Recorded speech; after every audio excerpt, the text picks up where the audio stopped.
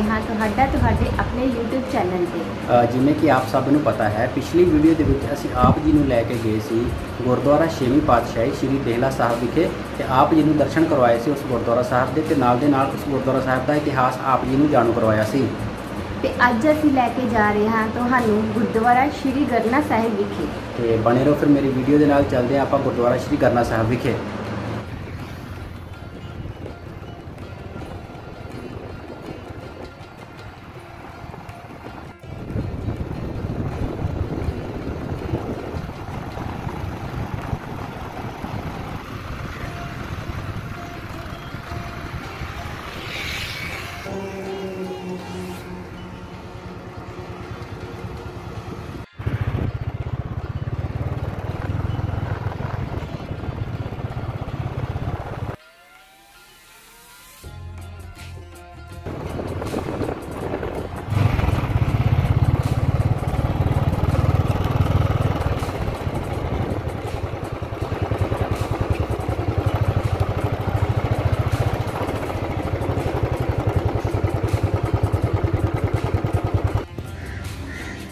ਹਾਂਜੀ, ਅਸੀਂ ਪਹੁੰਚ ਚੁੱਕੇ ਹਾਂ ਗੁਰਦੁਆਰਾ ਸ਼੍ਰੀ ਗਰਨਾ ਸਾਹਿਬ ਵਿਖੇ। ਇਹ ਗੁਰਦੁਆਰਾ ਸਾਹਿਬ ਜ਼ਿਲ੍ਹਾ ਹੁਸ਼ਿਆਰਪੁਰ ਦੀ ਤਹਿਸੀਲ ਦਸੂਹਾ ਦੇ ਪਿੰਡ ਬੋਦਲਾ ਵਿਖੇ ਸਥਿਤ ਹੈ। ਇਹ ਗੁਰਦੁਆਰਾ ਸਾਹਿਬ ਜਲੰਧਰ ਤੋਂ ਪਠਾਨਕੋਟ ਜਾਣ ਵਾਲੇ ਅੰਤਰਰਾਸ਼ਟਰੀ ਰਾਜਮਾਰਗ ਤੇ ਸ਼ਹਿਰ ਦਸੂਹਾ ਤੋਂ ਤਕਰੀਬਨ 5-6 ਕਿਲੋਮੀਟਰ ਦੀ ਦੂਰੀ ਤੇ ਪਿੰਡ ਬੋਦਲਾ ਵਿਖੇ ਸਥਿਤ ਹੈ। ਚਲੋ ਫਿਰ ਚੱਲਦੇ ਹਾਂ ਗੁਰਦੁਆਰਾ ਸਾਹਿਬ ਦੇ ਅੰਦਰ।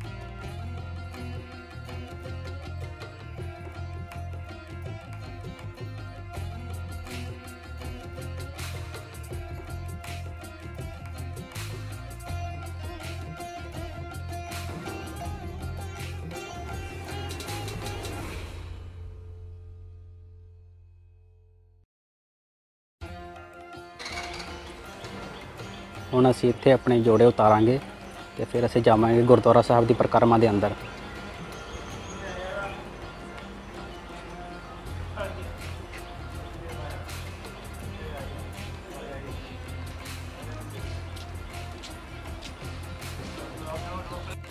Mm-hmm.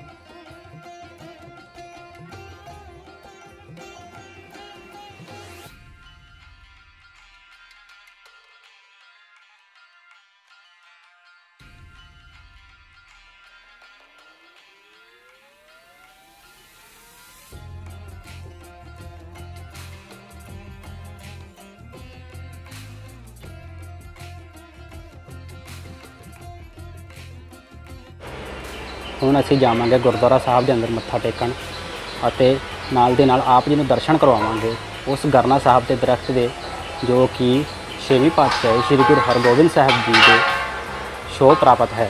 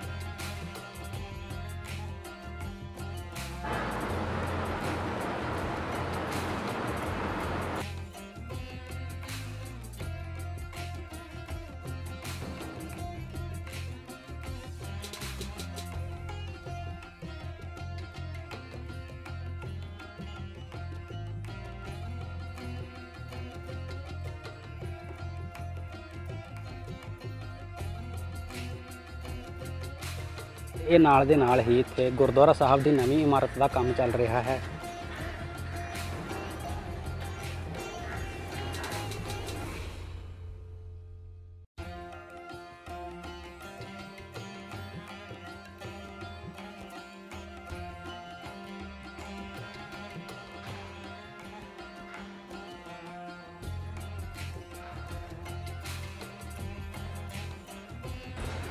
ਹੁਣ ਅਸੀਂ ਆਪ ਜੀ ਨੂੰ ਲੈ ਕੇ ਜਾਵਾਂਗੇ ਪਵਿੱਤਰ ਸਰੋਵਰ ਵੱਲ।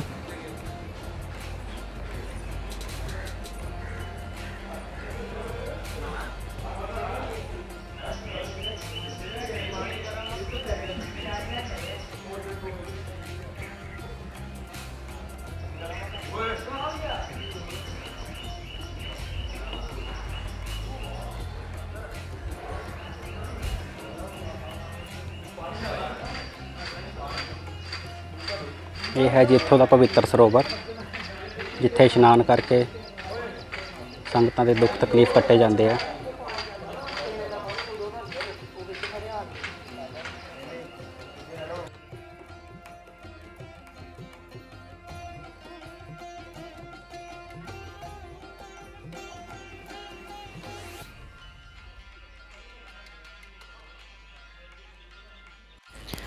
ਹਾਂਜੀ, ਹੁਣ ਮੈਂ ਆਪ ਜੀ ਨੂੰ ਦੱਸਾਂਗਾ ਇਸ ਗੁਰਦੁਆਰਾ ਸਾਹਿਬ ਦਾ ਇਤਿਹਾਸ।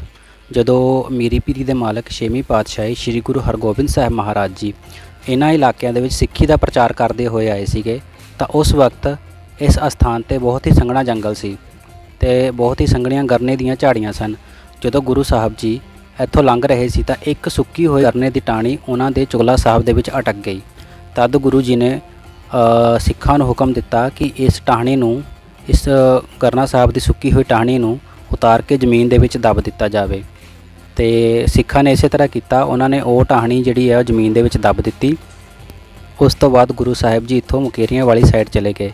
ਤੇ ਜਦੋਂ ਉਧਰੋਂ ਸਿੱਖੀ ਦਾ ਪ੍ਰਚਾਰ ਕਰਦੇ ਹੋਏ ਵਾਪਸ ਆ ਰਹੇ ਸੀ, ਤਾਂ ਇਸੇ ਸਥਾਨ ਤੇ ਜਦੋਂ ਉਹ ਵਾਪਸ ਪਹੁੰਚੇ ਤਾਂ ਉਹਨਾਂ ਨੇ ਦੇਖਿਆ ਕਿ ਇੱਥੇ ਬਹੁਤ ਹੀ ਵੱਡਾ ਇੱਕ ਗਰਨੇ ਦਾ ਦਰਖਤ, ਹਰਿਆ ਭਰਿਆ ਗਰਨੇ ਦਾ ਦਰਖਤ ਖੜਾ ਸੀ। ਉਹ ਜੋ ਛਾਪਾ ਸੀਗਾ, ਉਹ ਇੱਕ ਬਹੁਤ ਹੀ ਵੱਡੇ ਗਰਨੇ ਦੇ ਦਰਖਤ ਦੇ ਵਿੱਚ ਬਦਲ ਚੁੱਕਾ ਸੀ।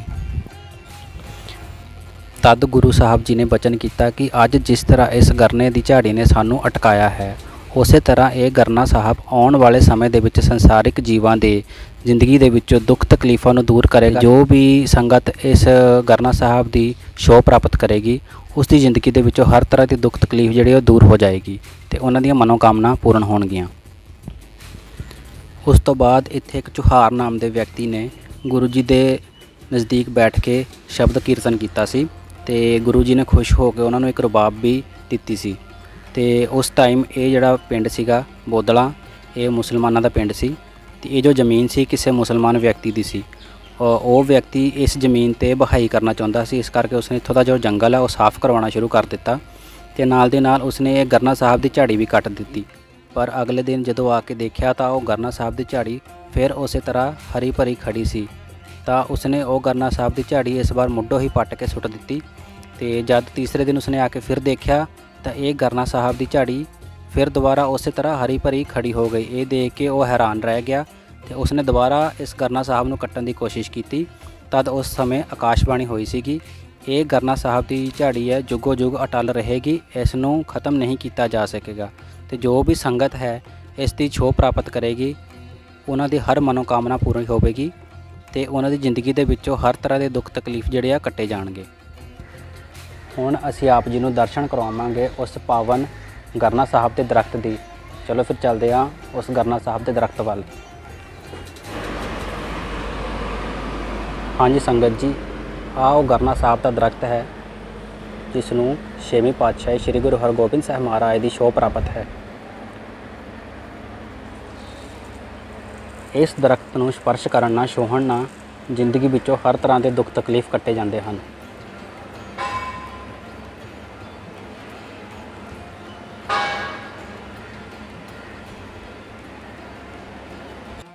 ਇਸ ਗੁਰਦੁਆਰਾ ਸਾਹਿਬ ਦੇ ਵਿੱਚ ਸਾਫ਼ ਸਫ਼ਾਈ ਦਾ ਬਹੁਤ ਹੀ ਖਾਸ ਪ੍ਰਬੰਧ ਹੈ ਅਤੇ ਨਾਲ ਹੀ ਨਾਲ ਗੁਰਦੁਆਰਾ ਸਾਹਿਬ ਦੀ ਪ੍ਰਕਰਮਾ ਦੇ ਅੰਦਰ ਬਹੁਤ ਹੀ ਸੋਹਣੇ ਰੰਗ ਬਰੰਗੇ ਫੁੱਲ ਲਗਾਏ ਹੋਏ ਹਨ।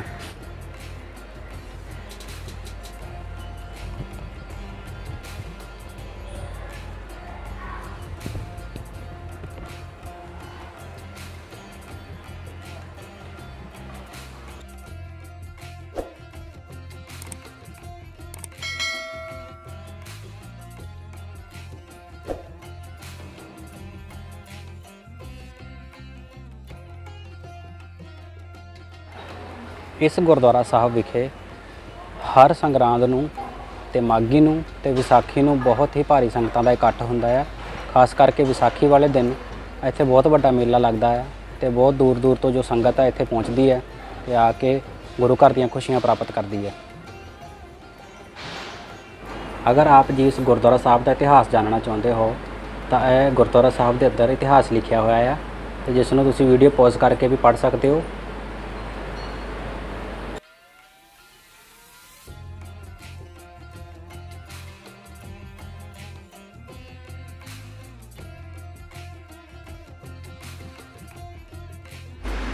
ਹੁਣ ਅਸੀਂ ਆਪ ਜੀ ਨੂੰ ਲੈ ਕੇ ਜਾਵਾਂਗੇ ਗੁਰਦੁਆਰਾ ਸਾਹਿਬ ਦੇ ਲੰਗਰ ਹਾਲ ਵੱਲ, ਜਿੱਥੇ ਕਿ ਗੁਰੂ ਦਾ ਲੰਗਰ 24 ਘੰਟਿਆਂ ਤੋਂ ਟੁੱਟ ਵਰਤਦਾ ਹੈ।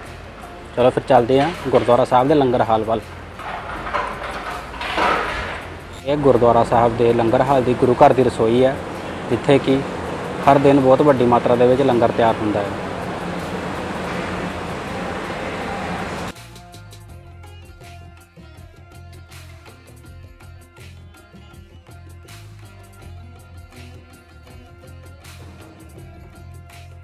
ਅਸੀਂ ਗੁਰਦੁਆਰਾ ਸਾਹਿਬ ਦੇ ਲੰਗਰ ਹਾਲ ਦੇ ਵਿੱਚ ਹਾਂ ਤੇ ਹੁਣ ਅਸੀਂ ਛਕਾਂਗੇ ਲੰਗਰ।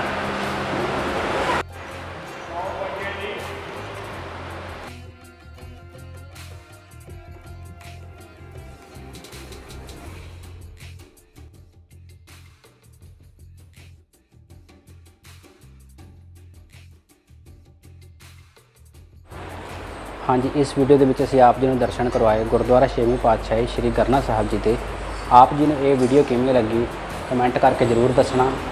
ਤੇ ਸਾਨੂੰ ਇਹ ਕਮੈਂਟ ਕਰਕੇ ਜ਼ਰੂਰ ਦੱਸਣਾ ਕਿ ਅਸੀਂ ਅਗਲੀ ਵੀਡੀਓ ਹੈ ਕਿਸ ਗੁਰਦੁਆਰਾ ਸਾਹਿਬ ਦੀ ਬਣਾਈਏ। ਬਾਕੀ ਤੁਸੀਂ ਸਾਡੇ ਚੈਨਲ ਨੂੰ ਬਹੁਤ ਪਿਆਰ ਦੇ ਰਹੇ ਹੋ। ਤੁਹਾਡਾ ਬਹੁਤ ਬਹੁਤ ਧੰਨਵਾਦ।